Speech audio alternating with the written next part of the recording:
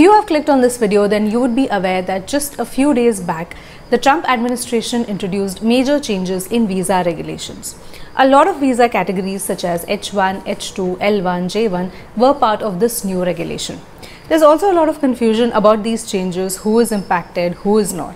So in this video, I'm going to take you through the details of this new regulation, what it means for you and also what are the next steps that you can take. Keep on watching. Hi guys, my name is Shachi and I'm a travel and a visa coach. Now before we start, let me just tell you that this video is going to be longer and also more detailed and more technical because there's so much to wrap our heads around the new visa regulation. So probably grab yourself a cup of coffee and also keep a pen and paper handy to take some notes. So to get a complete understanding of the current situation, let's start from the beginning when it all began. So in April of this year, that is April 2020, uh, the US president imposed a ban of 60 days on those who are outside the US and who are waiting for their green card. So effectively stopping the immigration process. And at the same time, a committee was also set up to review the US economy and also study the unemployment statistics in the US. Now, keep in mind that in the light of the coronavirus pandemic, unemployment rate and people who are seeking unemployment benefits are at an all-time high in the US. So one of the jobs of this committee was to come up with recommendations to create more jobs for American citizens. Now when this was done, there was already some speculation that it would go on to impact the H-1B visas, but nothing was certain then. Now in June 2020, that is 24th of June 2020 to be more precise, the Trump administration issued a new proclamation which not only extends the earlier 60-day ban which were imposed on issuing green cards to those who are outside the US, till the end of this year. So now that ban has got extended till 31st of December 2020. But in addition to this, there are also restrictions which have been imposed on the non-immigrant work visas. And this is what we're going to discuss now. So as per the new proclamation which came out on 24th June 2020, all new H1, H2, L1 and J1 visas have been put on hold till the end of this year, that is till 31st December 2020 which means that if you were waiting for these visas to be issued to you or if you already have these visas but were waiting for it to get stamped then that wait has just gotten longer and as of today you will have to wait till the end of this year. Keep in mind that H1, H2, L1, J1 are the visas which allows foreigners, mainly skilled workers to be part of the US job market and also allows US companies to hire people from other countries. If you are interested in knowing more details and the exact definition of these visa categories, do check out the description box because we have included a note on this. So the next big question is who is impacted by this ban? So number one, this ban impacts all new visa holders. So let's say that you are a new H1B visa holder. The visa was issued recently to you in March 2020 and you are currently in your home country waiting for the visa to get stamped so that it can become fully legal.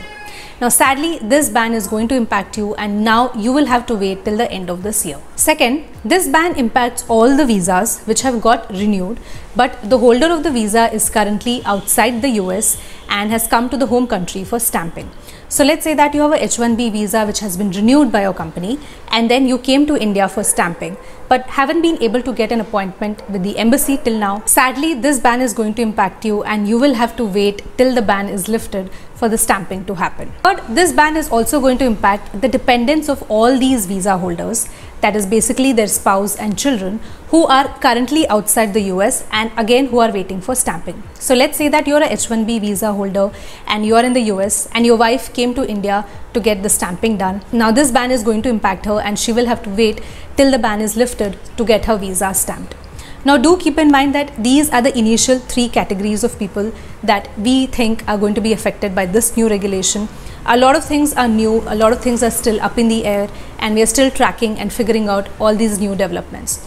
So make sure that you subscribe and hit the bell icon because any major change, any new development, I'm going to bring it to you right here on this channel. Now let's look at scenarios and the people who are not going to be impacted by this ban. So number one, this ban is not going to impact all the visa holders who are currently within the US. So if you're a holder of any of these visas and you're currently living within the US and working there, then this ban is not going to impact you. So let's say that you have a H1B visa and this visa is coming up for renewal in August and your employer has already initiated the process of renewal.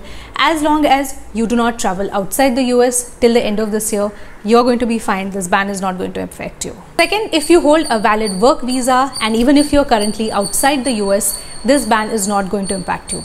So as long as you have a valid passport with a valid visa and a valid stamp, even if you're stuck outside the US right now due to the pandemic situation, this ban is not going to impact you. As soon as the international flights resume, you can travel back to the US. Third, this ban is not going to impact all those people who are within the US and who are waiting for a change in status of their visa.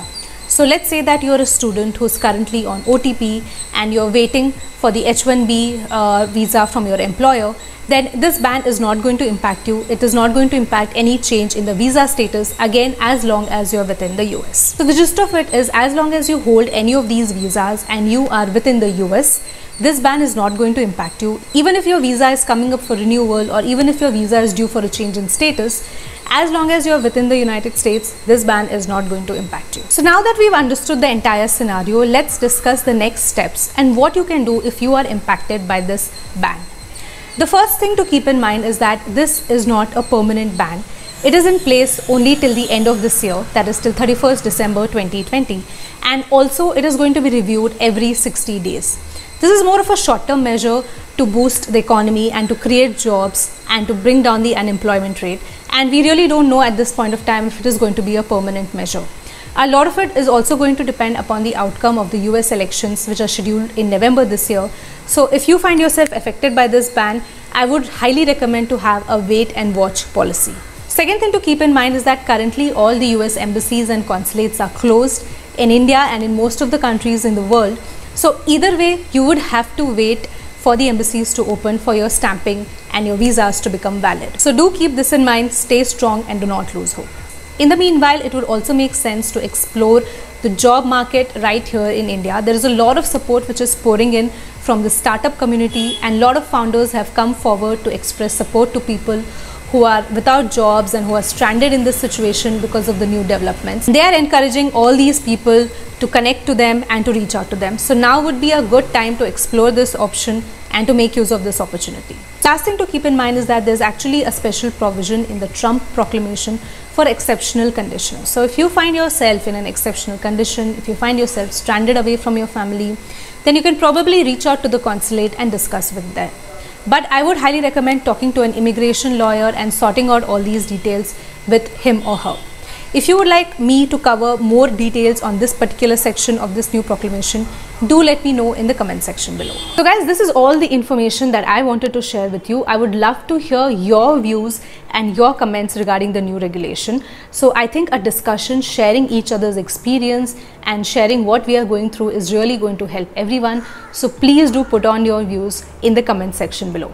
Also, if you're an immigration expert and you're watching this video, I would love to feature you in my channel and we can probably do a video getting into the depth of this particular situation and take questions from everyone. So please do reach out to me. Thank you so much for watching this video. I really hope this has given you a much more clear understanding of the current scenario and what is it that you can do if you are affected by this. Of course, I'm going to be monitoring all new developments very, very closely and bringing them to you right here on this channel. So make sure you do not miss out on any of this. Do subscribe and do hit the bell icon.